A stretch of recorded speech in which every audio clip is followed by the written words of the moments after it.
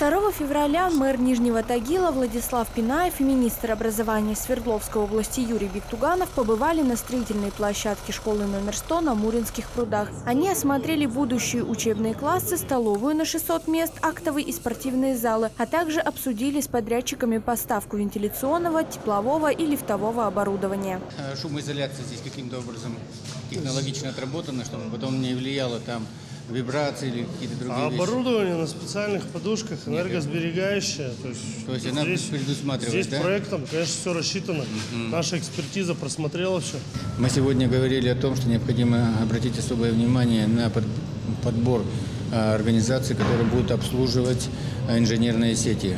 Здесь разработана новая современная система вентиляционного оборудования, которая э, работает именно на обеспечение здорового сбережения детей. Точно так же сегодня особое внимание необходимо уделить по системе цифровизации образовательной организации. Это использование цифровых ресурсов в части обеспечения организации образовательного процесса.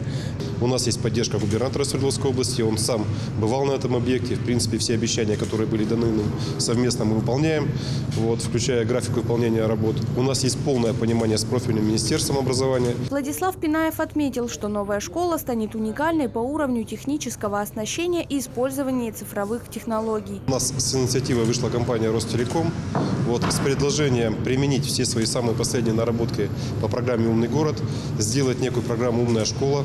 И вот этим, наверное, может быть, чем-то наша школа будет отличаться от других. Уникальностью, да? Да, этой уникальностью, что такого пока практики никто еще не применял. Сейчас строительство находится в завершающей фазе. По словам главы города, работы идут с некоторым опережением графика. На данный момент на объекте задействовано 190 специалистов. Их количество будет увеличено до 250.